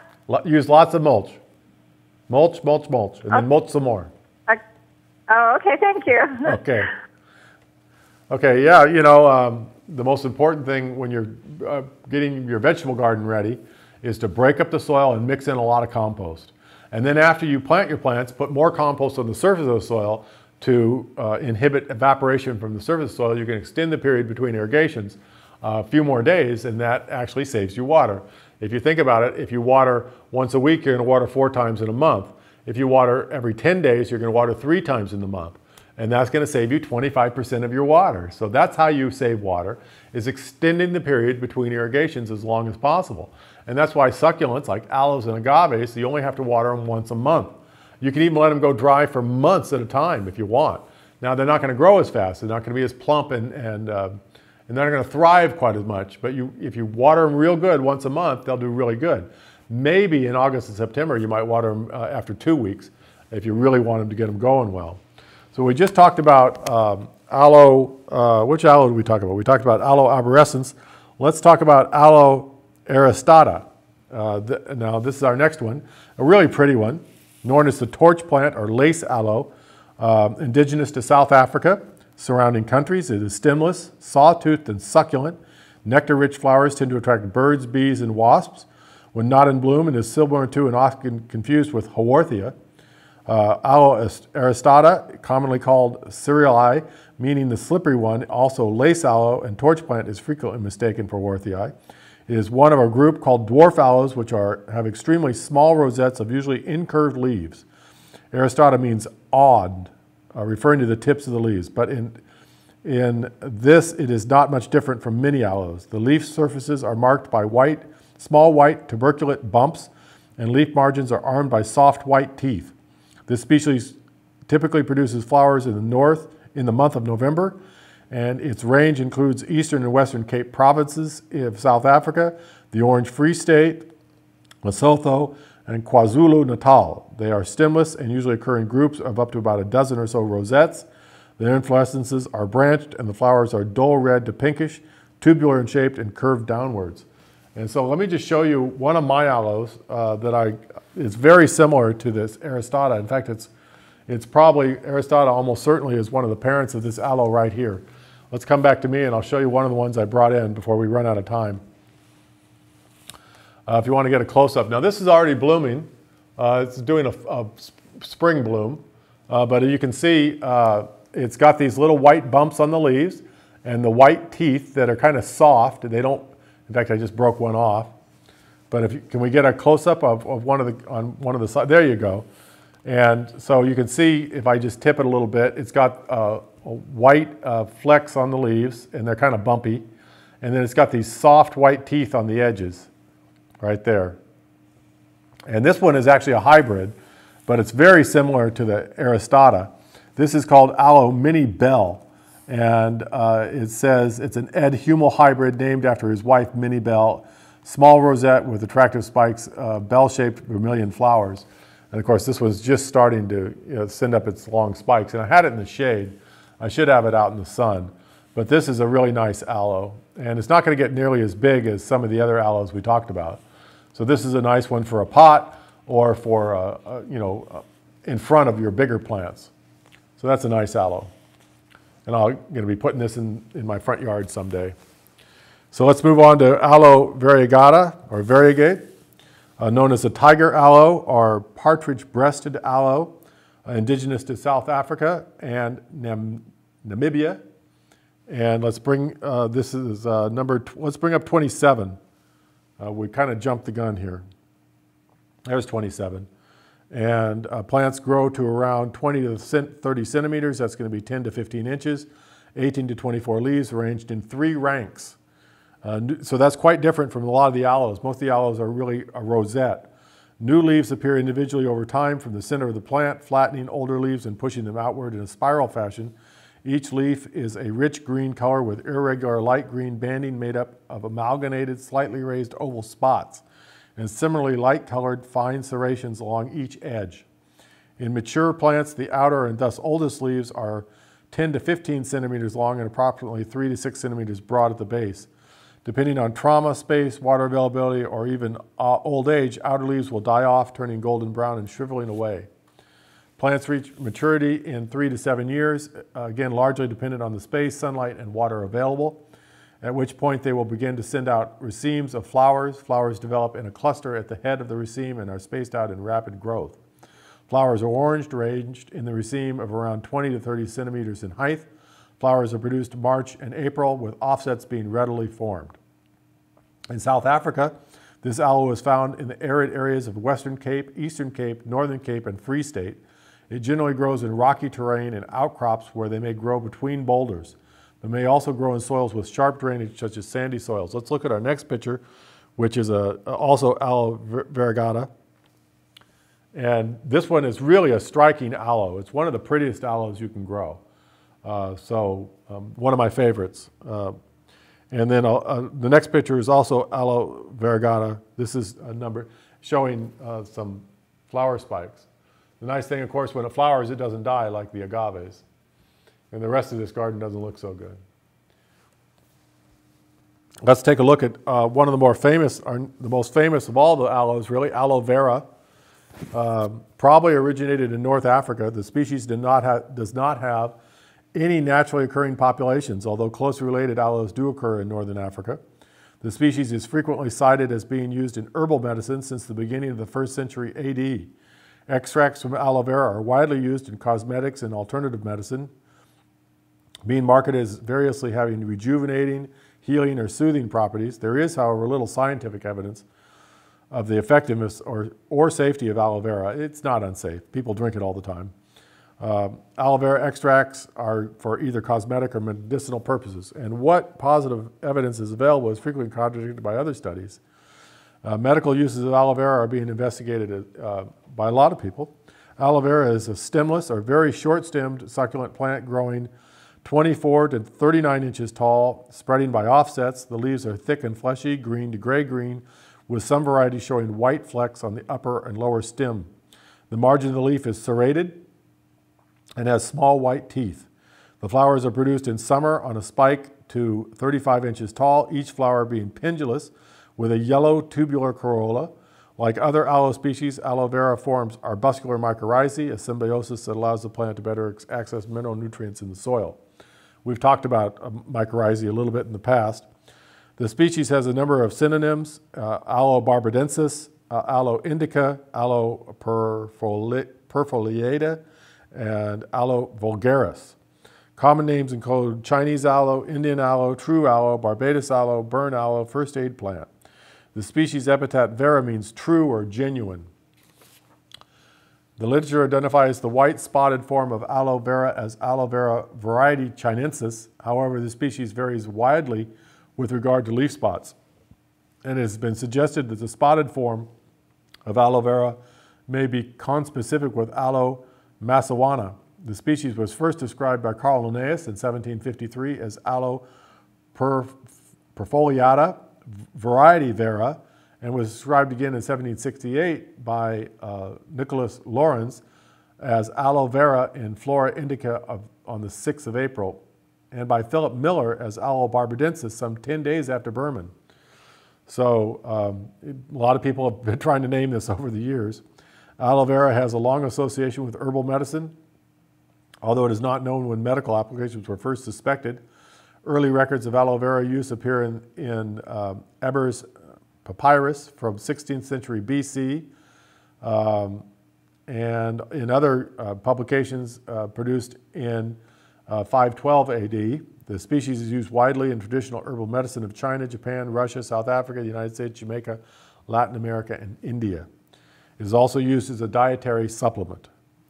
Let's move on to a tree aloe. Oh, let's take a look at blooming. Let's go on to our next picture, number 31. This is, you know, it has yellow flowers, and pretty much, I don't know of any aloes that are just have pure yellow flowers. Most of them are, are uh, have uh, red flowers that turn yellow when they open. Take a look at 32. This is also an aloe vera flower. This is a close-up of the flower, so it's it's always pure yellow. Uh, and that's so that's one way to tell if you have aloe vera. Um, let's take a look at our next picture, which is aloe ac aculeata. And uh, I don't have a lot of notes on this one. This is just a real pretty one. This is at the, honey, at, at the Los Angeles County Arboretum. And let's take a, a close-up of this aloe aculeata flower. So this is very typical of a lot of aloes. The, uh, the flower buds that haven't opened are going to be orange or red. As they open, they'll turn yellow. Uh, these are good hummingbird flowers. You get a lot of hummingbirds visiting these. Uh, now let's take a look at our next species in, for our photographs, which is Aloe uh, X principis, which is, of course, the X refers to a hybrid. And uh, I don't have any notes on principis. I don't think I've got notes. If I fun, run into them, I'll, I'll read them to you then. And let's take a close-up of the flower, Aloe principis flower. And again, uh, the buds are, are going to be orange or orange-red, and when they open, they, they get a lot more yellow. Now let's take a look at our, uh, our next aloe, which is, is, a, is the biggest of all the tree aloes. This is Aloe bainesii.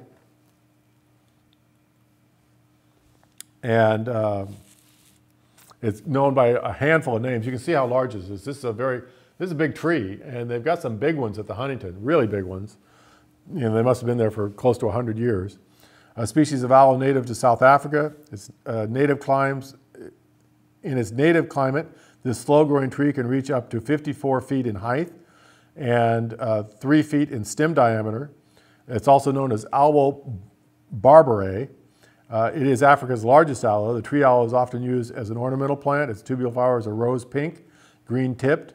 Its flowers in winter and in the natural environment is pollinated by sunbirds. Let's talk a little bit about the name. Uh, Aloe barbarae was first discovered by Mary Elizabeth Barber, who was a plant collector in the former uh, Transkei. She sent specimens of the plant and its flowers to the Royal Botanic Gardens at Kew, where it was named by Robert Allen Dyer in 1874 in her honor. Subsequently, it was also found in KwaZulu-Natal by the well-known traveler and, ex and, explorer and painter Thomas Baines in 1873. He also sent a specimen to Kew, and it was named Aloe bainesii. Although known as bainesii for many years, Aloe barbarae was the, first, was the name first given to this plant and takes precedence according to the International Code of Botanical Nomenclature. the tree's aloe's habitat is subtropical coastal forests um, and dry valleys in the eastern regions of southern Africa. Aloe barbarae is widely distributed from the eastern Cape through the former Transkei, KwaZulu-Natal, Swaziland, and another one, Mpumalanga, and northwards to Mozambique and East Africa. So it has a fairly large uh, distribution. Let's take a look at our next picture, which is aloe dichotoma. And this is another tree aloe known as the quiver tree or kokerboom. It is a species of aloe indigenous to southern Africa, specifically the northern Cape region and Namibia. Uh, the world checklist of, as of May 2011, um, the world checklist of selected plant families recognizes three subspecies. So there's uh, subspecies dichotoma, subspecies pillansii, and subspecies ramonizos, uh, I can't pronounce it, ram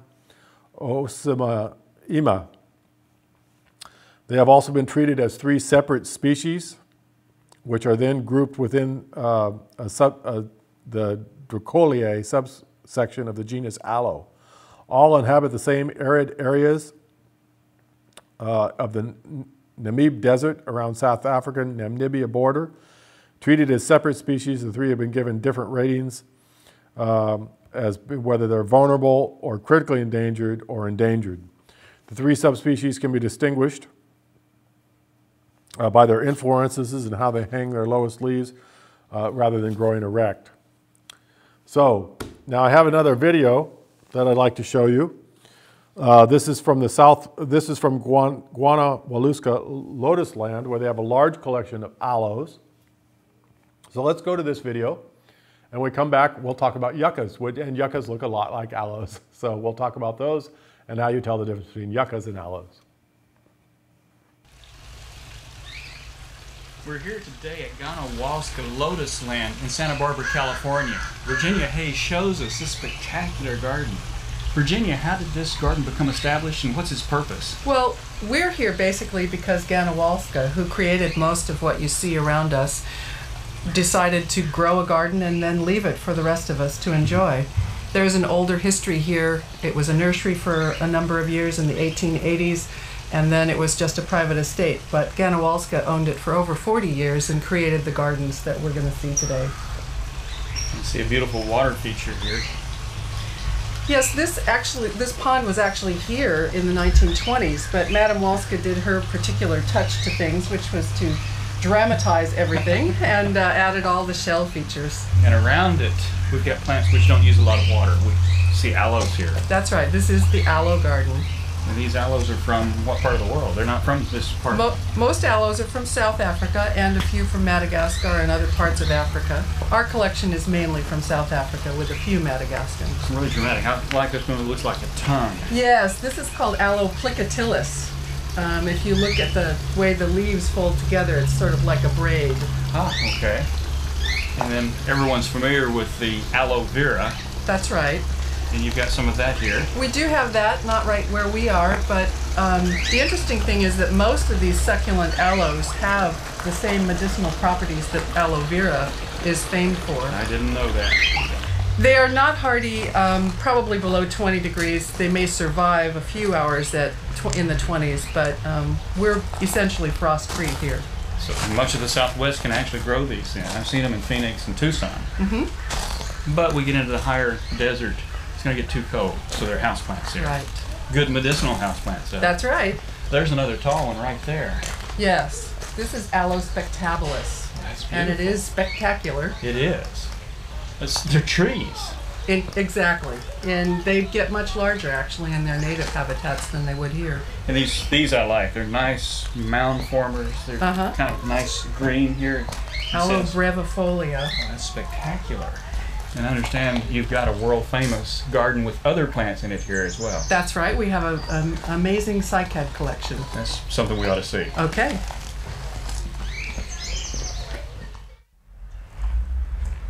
Cycad. Now the sago palm is a cycad, but it's really not a palm, is it? Right. It's uh, one of the 10 or 11 genera in the cycad family Mm-hmm.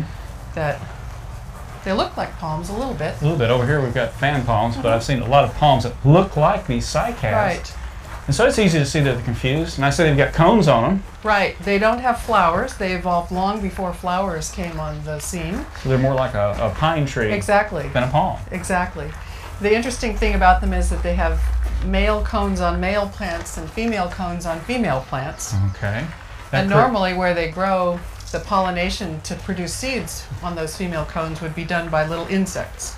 And this is really here as a scientific collection now, isn't it?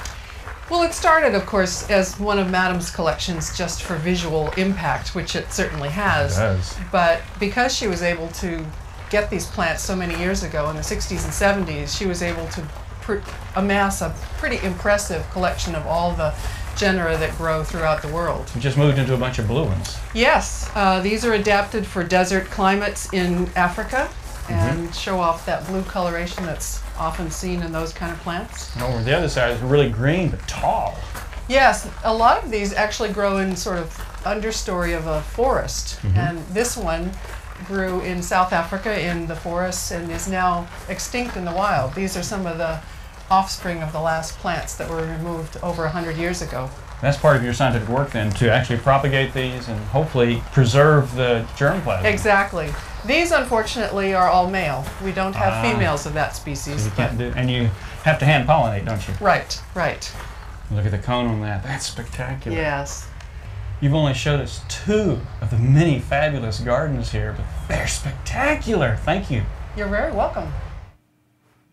So, uh, showing you a few of the aloes that they have there. She mentioned aloe um, uh, and I have one here, and it likes to tip over because it needs to be repotted. This is aloe plicatilis, and it is, it is different than all the other aloes because instead of having a rosette of leaves, and let me pull up uh, another one here. Here's another aloe, uh, and this has a rosette. So you can see that the leaves are distributed equally in, in a circular pattern. That's called a rosette. Um, and this one's in a little tiny pot and it needs to be replanted. And I'll just give you the name real quick that they've got on it. It's probably a hybrid because a lot of the stuff you see in the stores. This is Aloe congolensis. It's not a hybrid, it's the Congo aloe. This would probably form a large clump. Let's see what it has to say. Uh, it doesn't give a how, it says protect from frost. This one may be a little tender, but aloes can be tender anyway. But so this has little teeth along the edges, but they're soft. They don't scratch you really. I mean, you get scratched a little bit, but not much. Uh, so this is uh, the Congo aloe, a real nice aloe, and I'm going to move that up into a larger pot or get it in the ground so it can take off. And this is Aloe plicatilis, and you can see that this doesn't have a rosette. This has, uh, the leaves are opposite. Um, and this one is starting to branch. Now this will become a small tree actually. Uh, it'll get to about uh, eight to 10 feet in height with a main central trunk. Uh, and so it's like a, a large shrub to a small tree. And it's one of my favorite aloes. Um, and it's, so it's Aloe plicatilis. Um, and even though some of the leaves have gotten bent because it keeps tipping over, if I bump it once, it'll tip over. So now let me show you a couple other aloes I've got here. Let me pull up another one from behind me and pull this up. And here's another aloe. So I've, you know, these I keep in my backyard so people can't steal them. And uh, So this one is, and let's get the name on it for you. This is aloe candy corn. Uh, it's a hybrid between, whoop, got a lot of spiders running around. it's a hybrid between uh, Vastodana and Divaricata. Drought tolerant when established, has deep gray-green leaves with red-orange spines on the leaf margins, flower spikes with orange flowers uh, to 12 inches, needs porous soil and adequate drainage, water thoroughly with oil, protect from frost. A lot of the aloes can be a little tender, so here's a hybrid aloe, and you'll see a lot of hybrids out there. You want to kind of carefully think about uh, the, the ones you pick. It looks like it's already sending up some pups from the base. Looks like there's a second plant in this pot. One of the problems with aloes that you can get are, are some pretty bad leaf spotting, some black spots on the leaves. And a lot of people have shown them to me. I think it may be a frost problem or a cold problem because I never get consistently the fungus out of it that's, that might be causing that leaf spot. And then I've got another one over here that I want to grab and show you. These are a little heavy. Let me see if I can get it over here without tipping it over. Here's another aloe. Uh, so you can see these, there's a lot of forms of aloes. So you can get tree aloes, you can get small aloes, you can get medium-sized aloes, you get all the hybrid aloes. And this one is Aloe California. This is a hybrid. Uh, it doesn't give the parents, but it says uh, regular water in hotter months, protect from frost to prevent possible scarring. This one I've had in my backyard for a while now, and it's getting pretty big. Uh, but again, you know, it has a rosette of leaves, uh, but they a little spacing, uh, and I'm not sure how big it's going to get. I'd have to kind of look it up and see who grew it. Uh, but I got this at Home Depot. You can, of course, get them at any nursery, uh, Lowe's, Home Depot, Osh, your local garden uh, nursery. Uh, well, and these are getting more and more popular, of course, because everyone wants to get rid of those water-thirsty plants. You put this in your garden. Uh, of course, you know, give it some space because it's going to get bigger and you can disappear for a month. And when you come back, it's not going to look one iota different uh, unless someone uh, steps on it or, or crushes it. Now, the thing about the leaves, let me just uh, uh take a leaf here and bend it, and it's going to break right off. You see, it's brittle. That's a distinctive thing about uh, aloes is the leaves are, are, are brittle. They break easily. So when this tips over in my car on the way home, it's going to break some leaves off. But take a look at the, the leaf itself. Let's go to the uh, overhead. I want to show you this broken leaf. And you'll see that um, when you break them, uh, they've got this gooey, sticky material in, in there. And so if I touch this, you see that's kind of gooey and sticky. And this is what you, you know, if you burn yourself, you can break off a leaf and put it on the burn, and it's very soothing. So let me get a, now you can't grow it from a cutting, now I could uh, cut off one of these branches, take the leaves off, let it dry, and then root that, but you can't just root leaves. Some people, I had this plicatilis, uh, uh, and I was talking about it, and somebody said, oh, can you give me a cutting of the leaf so I can grow it? I said, well, it's not gonna grow from a leaf cutting. Uh, that's, you know, a lot of succulents will grow from leaf cuttings, uh, not aloes. So don't be too confused about that. Let's just talk a little, we're, we're almost out of time. I wanna tell you a couple little things. This is our last broadcast uh, for the spring semester. This is the last class for spring of 2015. We will be back in the fall of, of this year uh, to talk again about uh, your gardens and, and, plant material to grow in your gardens and how to control all the different pests. Let's take a look and see what I've got next. I just want to talk a little bit more about, about uh, some aloes. Let's bring up the next picture, was number 39. Uh, one of the biggest problems with aloes is the aloe mite. Bring this up full screen. And you see this, this growth that's all over this aloe, and this is caused by the aloe mite.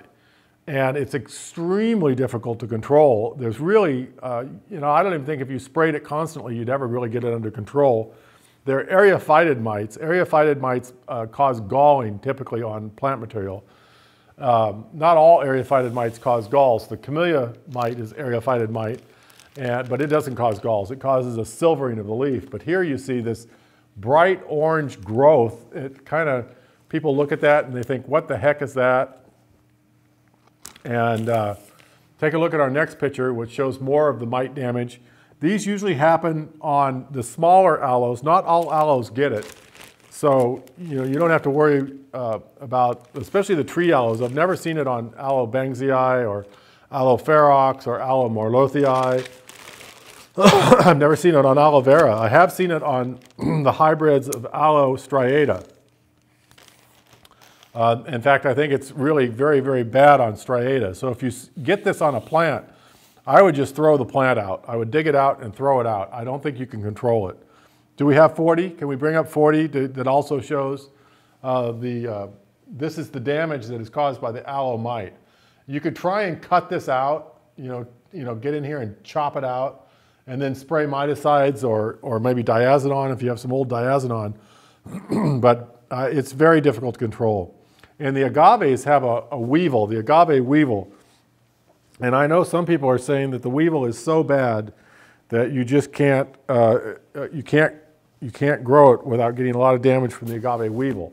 So know that there are some pests for both agave and aloe that are difficult to deal with. But I want to talk a little bit about yucca now, because yuccas look a lot like aloes. Um, and they are, of course, native to uh, the southwestern United States.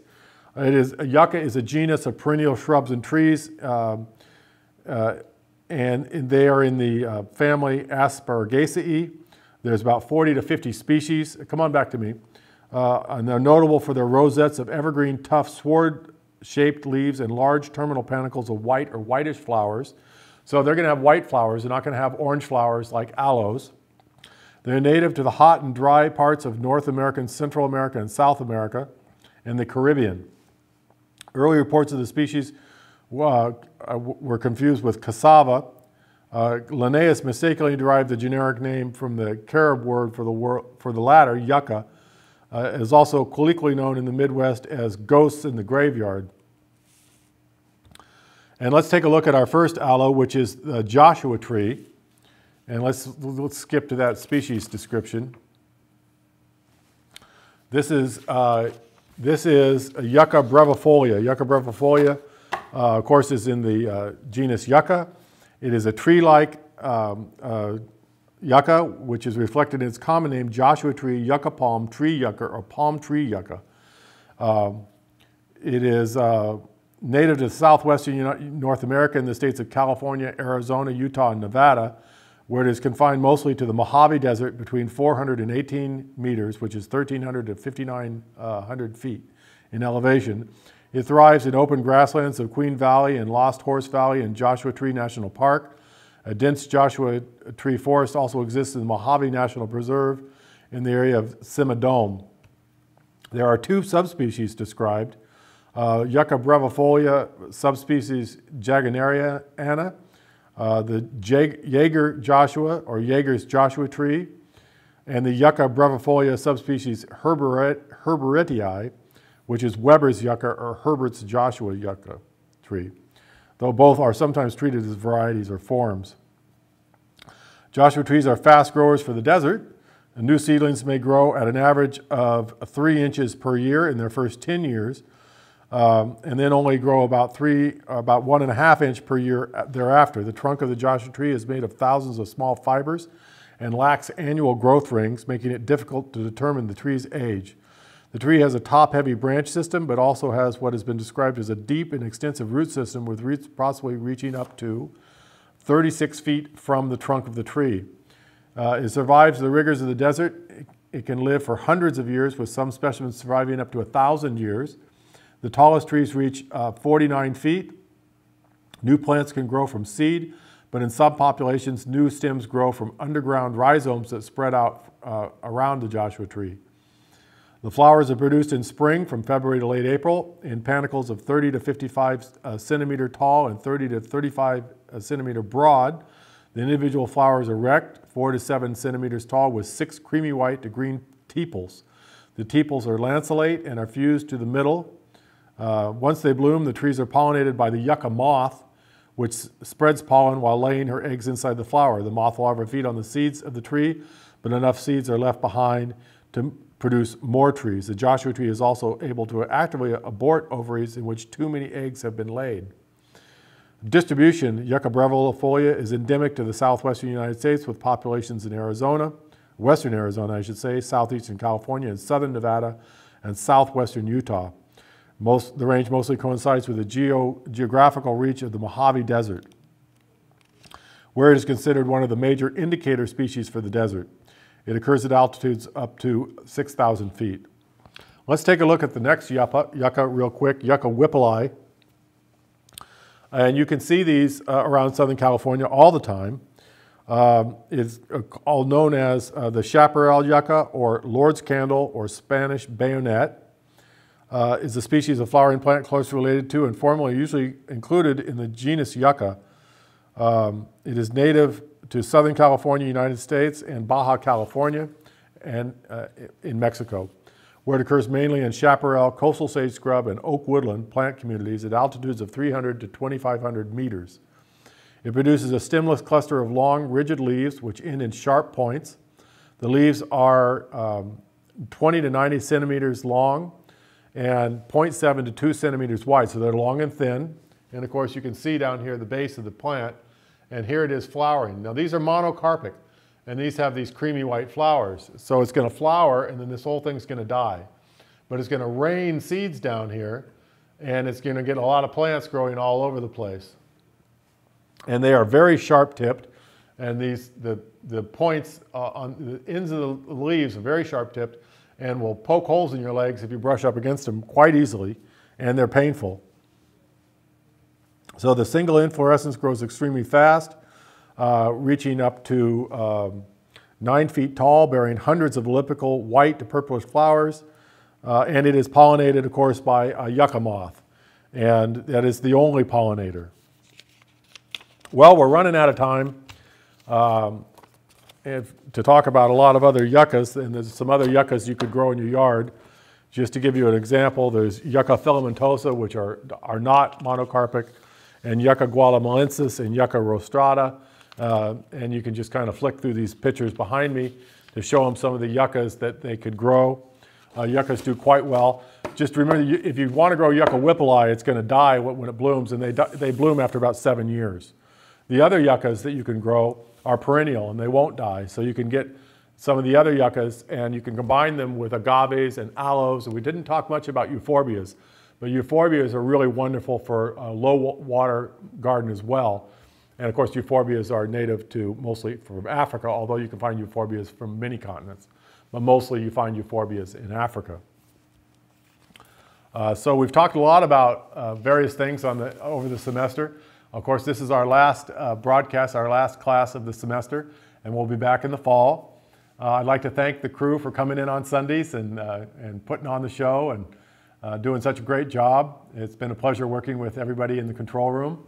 Uh, so uh, if you want to contact me, you can contact me at the Los Angeles County Agricultural Commissioner, where I'm the senior biologist, plant pathologist. I run a plant diagnostic clinic or lab down in Southgate. You can send in samples for free. We identify insects and identify nematodes and weeds and pathogens. Until I see you next fall, I want to wish you happy gardening. Get out and enjoy our weather and grow some uh, wonderful gardens. Take care. We'll see you in the fall.